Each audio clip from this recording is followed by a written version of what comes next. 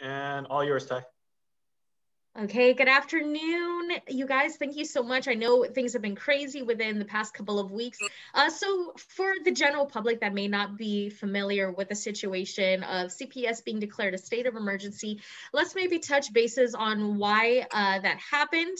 Um, and then let's uh, also clarify maybe why DYA has been uh, selected to take over administrative uh, the operations. Okay, so um, what happened was Executive Order 21-02 um, really authorized the Department of Youth Affairs to come into come into CPS and to um, direct resources towards a backlog. This backlog of case referrals was identified by the uh, former administrator of Child Protective Services during a just a regular meeting um, that she had had with Terry, myself, and the lieutenant governor. Um, so uh, it authorized us to come in, I believe the day, well, it was two weeks ago today. Um, actually, this is our 12th day in, and um, we have been with CPS um, actively looking, taking a look at that backlog, as well as trying to make recommendations um, how to as to how to move forward and to avoid this kind of crisis intervention, so to speak. That's correct. And, you know, since that 12 days that we've been here, there's actually been quite a bit of movement uh, and to some degree, quite a bit of progress. Can you just so, describe, to, oh. No, so like for example, so for example, today um, we have a number of Child Protective Services retirees um, looking at um, referrals that were actually not accepted, deemed not accepted, but were of concern to us because it was um, inputted in the computer right before we came on board. And so looking at that backlog, looking at that aspect is really, really helpful. So we're we're trying, you know, different um, measures to address this backlog of referrals and using um, CPS retirees who have the, you know, this wealth of knowledge and experience has been really, really instrumental in attacking this um, issue. Right, and I will add to that that uh, when they exit or when they retire, they left on really good standing. So, like Lonnie said, they, they bring with them the history. They know the services that are available throughout public health as well in the community. And uh, so, when they review cases, actually, they're looking at it with a real critical eye and making sure that whether or not we can take this case or whether we should move it forward. Uh, and it's an excellent team. I think there are five of them right now, uh, and all of them very good workers. That's correct. You know, and and as you know, Tyler, both Terry and I, we are um, former Child Protective Services workers, and so um, we believe that every referral is a concern over a child or children. And so even if it's inappropriate, it's an inappropriate referral to CPS, we can always link services. If we have enough information, we can always link services to a particular family. And so um, that has been our plan in addressing um, these outstanding referrals. Yeah, and I will add to that that many of these resources or, or needs of these families are actually located right here within public health around uh, food stamp, around well baby checkups, medical appointments, uh, dealing with issues around orthopedic cases for pediatrics, such as Shriner services. I mean, all of these services are within public health are they're links through public health. And so uh, when we look at these cases, you know, automatically we're saying, hey, they should do prenatal care and they should do WIC, and we can go ahead and link them over to uh, certain programs ahead of time, baby basics, you know, that way they're not only doing tests, they know why they're doing tests. Uh, so often people say, I had my blood drawn, but I'm really not quite sure what it was for. You know, we've got programs that actually help explain that information, uh, especially when we start to see really young uh, girls uh, who are below age of consent uh, being pregnant or getting pregnant. Um, so yeah, we've got a lot of those resources right here within public health.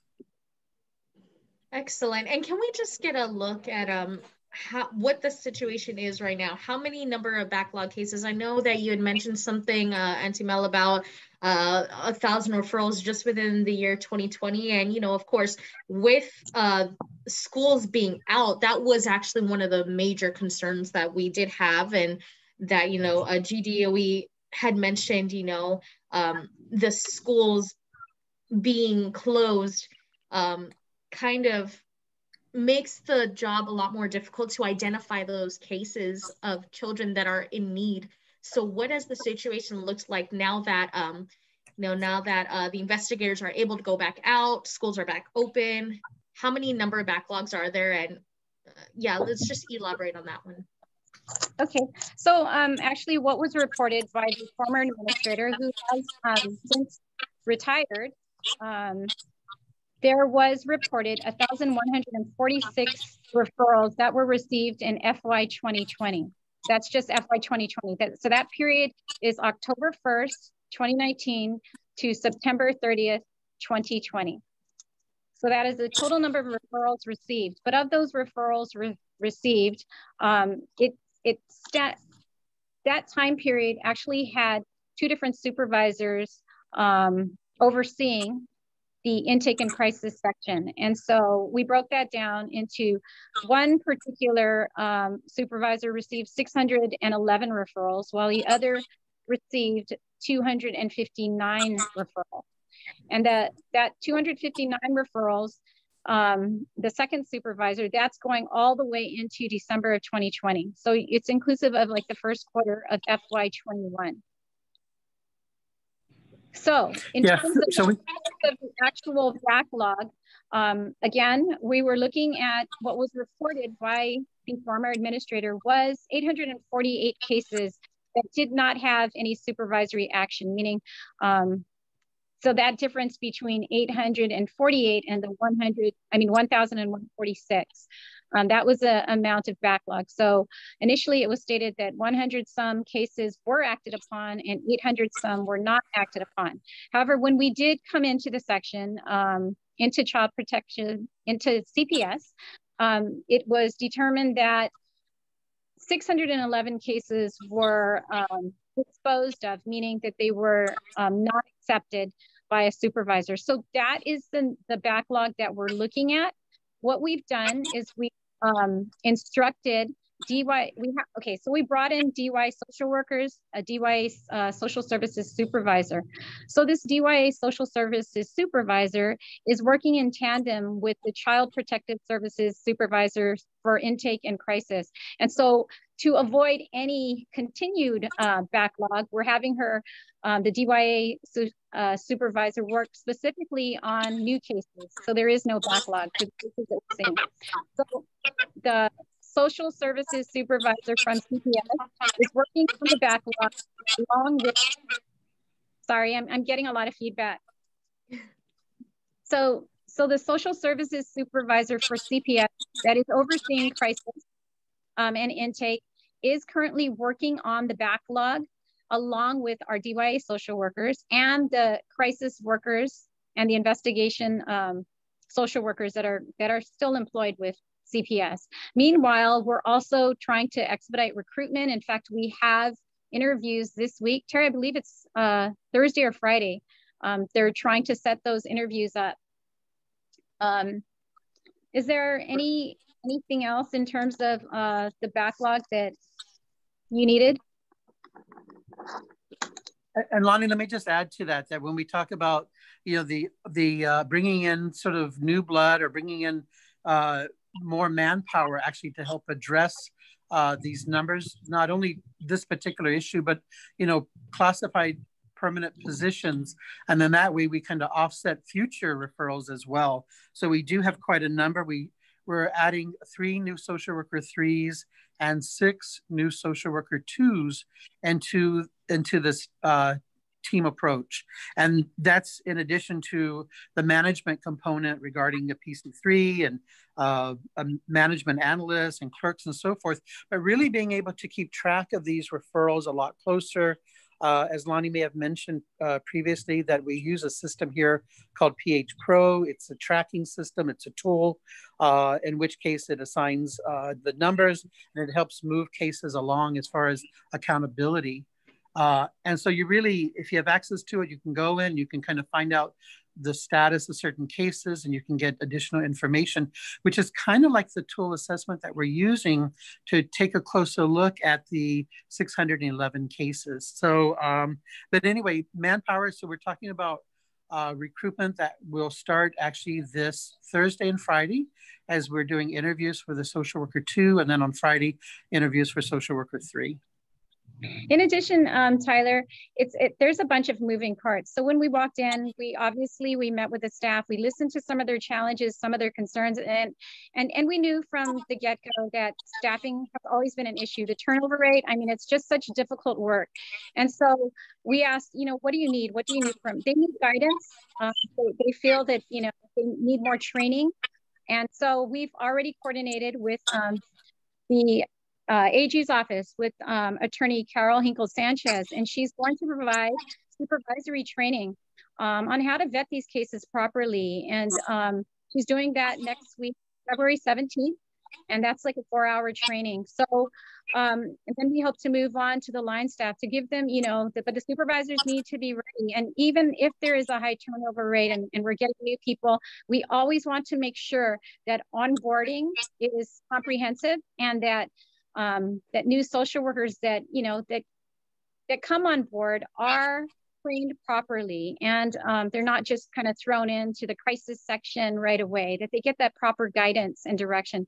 Because again it's such a hard um, job. It's constant it's hectic it's chaotic and you need to really understand what your resources are in the community to, to help yeah. families in need yeah, and you know to echo part of that too, because you know, like Lonnie mentioned, both both her and I, you know, we're part of the Child Protective Services, the BOSSA team, sort of back in the day. And you know, granted, we were thrown in the fire. The truth of the matter is, is there was not a lot of standard operating procedures or policies and procedures for us to review even back then. So we know clearly that when staff come on board and they're put into like say a crises unit or they're put into any of these units case management investigation all of them have the potential to become crises cases almost at any time.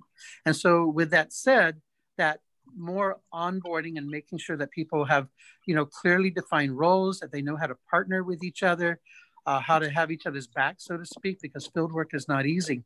The, the big difference between Lonnie's and my time, I think, is the increased number of uh, drug cases, people on meth and so forth, and uh, pregnancy cases in which people, uh, uh, moms are, are on meth as well. So the complexity of these cases, although they were quite complex during our time, uh, they've grown to be even more so. And, uh, you know, we were also looking at sort of a generational uh, concern during our time that you know this this way of of uh, disciplining, so to speak, your child just went from one generation to another. And if you look at it, you know, literally you were going back to the to the grandmother who was still living in the household, who this was how she did her son, her daughter, and it just sort of carried on through the grandchildren. Now, of course, like I mentioned, we're seeing more of the meth cases. You know, those cases have a very poor recovery rate. Uh, and therefore they're going into case management and they're literally you know you're seeing again the generational thing but you're also seeing conditions in which you would kind of want to be moving towards permanency for these children but finding out that they're getting into foster care or group homes for extended periods of time so we we have this opportunity to look at that as well um, yeah, like like Terry said, Tyler, we're looking at things that um, like the drug, you know, the drug problem. We're looking at homelessness. These are trends that our uh, CPS workers need training in, and we need to know what the resources are. We have um, foster care issues. We need, you know, more foster parents to be interested, and we need alternative placements. I, there's like ongoing issues that need to be better addressed, but we need not only to support the community, the kids in the community, we need to support the workers with, you know, options for placement. And so these are things that, you know, um, aside from the backlog, we are recognizing and they, they are very real needs and real challenges. That was yeah. actually something that I really wanted to uh, ask about because from what I understand, um, children that are homeless don't necessarily uh, become a CPS case. And, you know, with this pandemic going on, so many families, I mean, look at that, almost half of the residents at global dorms are children. Um, and more and more every day, like just right here in Harmon, we see two kids with their father panhandling. And, you know, I, I guess that's that's definitely a long-term thing, but it's also a now thing to address uh, because it is a growing issue. You know, is that something that CPS is going to, um, you know, take care of? Are they going to try to change the guidelines of that? Because, um, you know, to simply say that, oh, we don't uh, take away these children from their parents simply because they're homeless. Like, from what I understand, it's as long as they're going to school, they're still, um, they're, they, they're, they still don't take them away. But, you know, yeah. that sets them up so, for a life in, so, a, in a similar know, lifestyle. I think, I think, yeah, I think that's um that's a generalization that that it um kind of is a false generalization in that CPS does make every effort to keep the family intact as much as possible. Um, yes, I know that the prior administrations had looked at homelessness as just a risk factor, but the way Terry and I view it is it's, you know, and again, it's trending upwards because of the pandemic. And so it is a real issue. And this whole entire family um, needs assistance, needs support. So CPS won't abandon a CPS referral just, you know, that just suggests homelessness. Um, we, we will go out on it.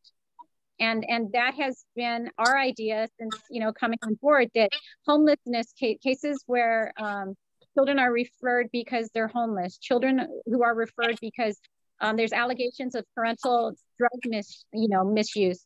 We will act on those cases. Mm-hmm. And you know, I will add to that, especially around the issues of, of homelessness. You know, to say that it's just a risk factor is such a misconception. You know, we know that the percentage, the likelihood of children that are living out on the streets, regardless of age, you know, they're subject to a lot more violence, uh, sexual assault, physical abuse, poor nutrition, a lack of adult supervision.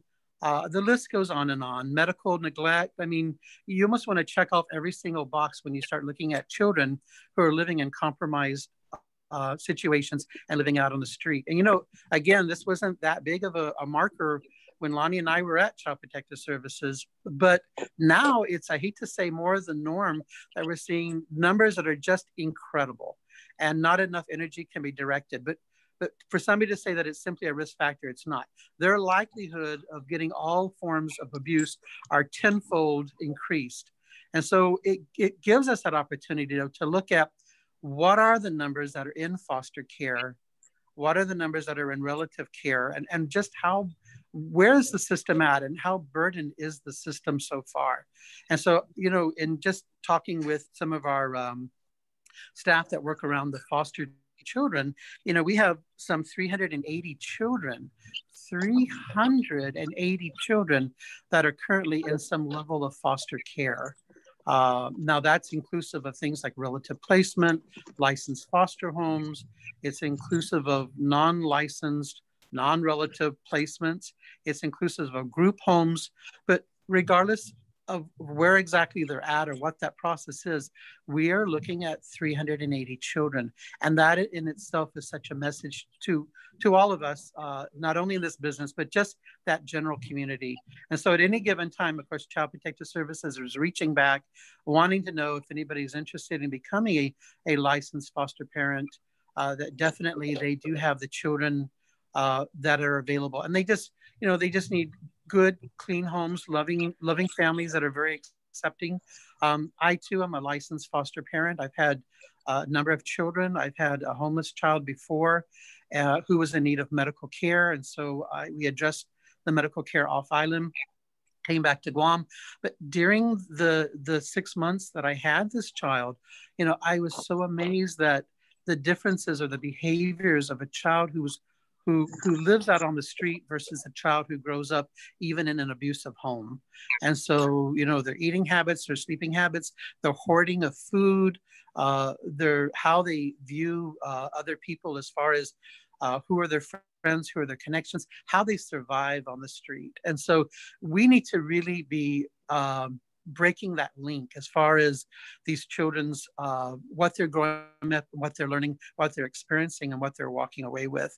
And if we don't do them on our on our level, then of course this is part of that team that's going to grow up and be treating their children just the same way. And the family, the person that you mentioned about uh, somebody panhandling with the children that are out there, I've heard of this case, and before uh, I was back into public health, I actually would see them usually at the McDonald's area. And I was always amazed because I thought, gee, if they have their children there, number one, there's the sun, there's the rain, there's the traffic, anything could happen. But I was also thinking, gee, are they ha- does he have his children there just so he could, in, let's say, increase the amount of money that he's being able to collect? So you're looking at people who are becoming, um, perhaps even using the, their children to that kind of advantage. So, you know, Child Protective Services, as Lonnie said, has very, it has a lot of moving parts. Our, our foster care system in itself, the numbers, the type of trainings that are available to foster parents, the fact that some of the children are medically fragile and are in need of specialized foster homes, which we simply do not have on this island. But you're talking about uh, bedridden children, quadriplegic, orthopedics. We're talking about children who may need suctioning, the children that have seizure disorders.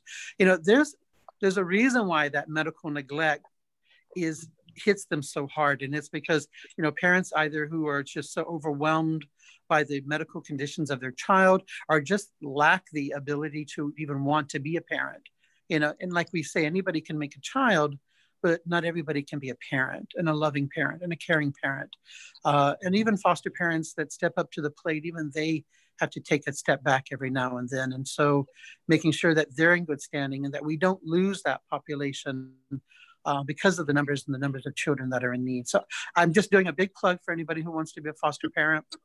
Yeah, I'll do a I, shout I, out. I'll do call, a shout please out. call. Please call 475-2653. So And you guys, you guys will notice that Lonnie and I have our, we have certain things that are part of our bandwagon and the recruitment of foster homes is in the forefront. And I'm trying to get her to be a licensed foster parent.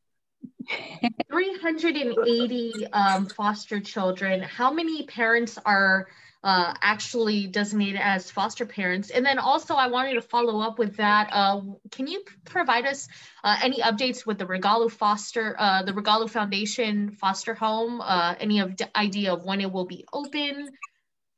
Okay, sure. So just a little bit of background information when it comes to actually active licensed foster homes. These are foster homes that have gone through the recruitment packet. They uh, went ahead and met the needs that were required them as far as any type of clearances and so forth. We actually only have 41 41 active licensed foster homes for children for a total of 71 children in those 41 homes. For relative placements, these are just extended families that are willing to step up to the plate. Uh, we have 186 children that are currently living in those homes. And as we go down, we do have uh, services of Alee Shelter currently. Uh, that it's a group home as well. And we have 11 children, 11 of Child Protective Services children are there. For our non-relative, non-licensed foster homes, we have 48 uh, children in those homes. And we have a category actually called in parent custody, simply meaning that the children were removed, that the parents maybe have gone through effective discipline class or they've gone through like drug counseling or substance abuse counseling. And so there is that work towards reunification.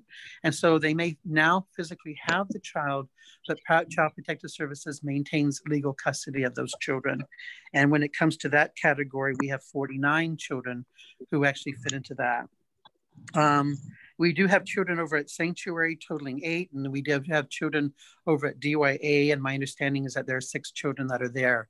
So you're really looking at, um, and actually, we do have one case in which a child, an older child, uh, literally had ran away from services uh, and has yet to be identified the location. So one older child. So that totals 380 um, children that are in the system one way or another. And again, it really is going back to need the need to increase those foster homes, the need to look at at what point do we really are we really doing a disservice by keeping the child with the parent? How many opportunities do they really need in order for the child to have a permanency placement? And we know that that children want that permanent placement that they need that as far as consistency consistent love uh, messaging, acceptance, treating children with respect, you know, all the things that a good, loving home will bring to the table. Uh, and our children are missing that. We have literally a, a generation here that is missing missing that supports. And we are doing our best to get it in place. But you know, again, it's reaching out and it's making sure that we have enough of the resources in order to accommodate the high numbers of children that are lending up in the system. And again, many of those, those children, you know, they're victims of sexual abuse, physical abuse, or they're tied in to substance abusing parents. And Terry, I just wanted to ask this as uh, we'll wrap it up soon, but uh, you being a foster parent yourself, um, and obviously we're trying to encourage others to uh, sign up to be a foster parent. Can you just walk us through what the process is like? Um, maybe some people just, you know, just give the public some information about how it is, uh, what they kind of have to go through to qualify, and you know what your experience has been as a foster parent. So, so the licensing procedure itself to me was very positive. I was very fortunate to get a worker by the name of Grace, Gracie. And so she is excellent. She just has that really nice, caring tone that I think somebody who's managing uh, this population, the, the foster parent population, you know, needs to have that caring voice. So she's excellent. And, and it really boiled down to having a home study. You know, can my house accommodate uh, a child or children? Uh, what what age population am I actually looking for? Am I capable of working with? Uh, I needed to get a PPD, which um, uh, was not a problem at all. And of course, I needed to get a, I think, a police and a court clearance. Uh, and all that was was incredibly manageable. You know, uh, you really a, a good foster parent you know, are going to not necessarily see these as obstacles as much as they would want all of the foster homes to be able to say, yes, we are healthy. Yes, we don't have a criminal record. And yes, we do have the best interest of the child at hand. But my experience, just amazing. You know, you cannot, uh, you can't put a price on it. And to have uh, my first child, very young child had very lot of difficulty walking. So you know you get used to like strollers and push carts and wheelchairs and everything.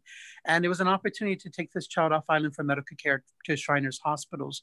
And of course their incredible team over there in honolulu and then I came back to the island, and again, you know, they were looking for somebody who had some history with Child Protective Services, who kind of had a background with maternal and child health programs and working with children with a disability, and really just wanted to look for somebody who was patient and could work with a child. So the second child, again, uh, was one that I took to Shriners Hospitals. We were there for an extended period of time. My my uh, child went into the operating room five times. So you know, it really is you know, having that patience. And, you know, I'll say this people complain about quarantine uh, when they get off a plane because of, of COVID.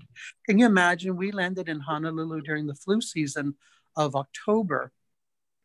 And we actually went into a two month lockdown just so I could make sure my child uh, could undergo the surgery in which we came there. We were intended to do. So good nutrition, plenty of Pediasure, a lot of snacks, build that weight up, which is important for staying healthy. And you're talking about a street kid who really had really poor Vienna sausage, McDonald eating habits. Um, and then as we progressed, then of course the pandemic, you know, COVID broke out. So total, just within lockdown and uh, quarantine, we were in for over five months and you're talking about a seven year old child in a hotel room you know and of course i was tasked to be like the teacher at the same time uh, and you're talking about somebody who uh, you know is a little bit behind the the score, I guess you could say, when it comes to learning. So, you know, it really was a lot of patience. Like, you know, the our outings uh, were very limited. Like two, three in the morning, we would go do laundry because no one would be around. I ran around with my uh, Lysol and my hand sanitizers, and we wouldn't touch the buttons on the wash machine and dryer. I mean, he was he was just wonderful. You know, he would—he'd—he would be awake. It would be an outing for him. You know, pretty much we were locked down all the time. I guess my point being is that you know it, it takes a special person for these more complicated cases, and it takes a loving special person uh, to be a foster parent. And kudos to those that are not licensed, that are doing it also from the love of their heart and uh, just wanting the very best for their relatives. So I don't think enough can be said. But let me tell you this you really haven't learned until you become a foster parent. It's one thing to raise your own kids, but you try taking on a child who's new into your home and they just need to very quickly learn your habits, you learn their habits, and kind of find that happy medium of respect uh, and acceptance of each other. So, um, yeah, anytime that conversation is on my list, I'll be available. Well, that's, I've got to say, that's a very admirable, honorable job that you've taken on. And like you said, not many people can do that. It takes a lot of patience and, you know, everything. So, I mean, it's, it's very inspirational to hear, um, to hear what you've, um, you know, signed up for. Uh, before we wrap it up, is there anything else that you'd like to add? Uh, anything in regards to the training that uh, that uh, personnel has undergone or uh, anything that you want to get out. I'll let you have the floor. So, you know, I, oh, sorry, that, go ahead. No, just the training that we've already organized and coordinated with um, Carol Hinkle uh, Sanchez. That's um that's a start. Um, it's sure isn't you know the end. Like I said, we have to look at trends in the community. Tyler, you noticed too how homelessness was treated before, and so moving forward, it's going to be treated differently. It is a high priority. Um, trends and you know what's going on with um, drugs in the community that's another high priority as well as runaway children so training in those areas is paramount for um, you know the new way forward with cps yeah absolutely you know and i will give that number again one more time it's 475 2653 for anybody you know, even if you're not so much interested, but you just like to ask questions about foster parenting and what that looks like, you know, it starts with a phone call. You know, we'll we'll assist you and we'll walk you through and we'll take it from there. And again, right. we're we're and again, we just honestly we celebrate the families that do take in um, that have room in their hearts and their homes the relatives as well as those interested in foster parenting even with the relative placement we encourage that they get licensed and many of them do and will help you know others yeah Okay, excellent. Thank you so much, both of you, for your time today. Um, I'll let you get back into it. I know you have crazy busy schedules, and uh, obviously, you have a lot on your plate to tackle.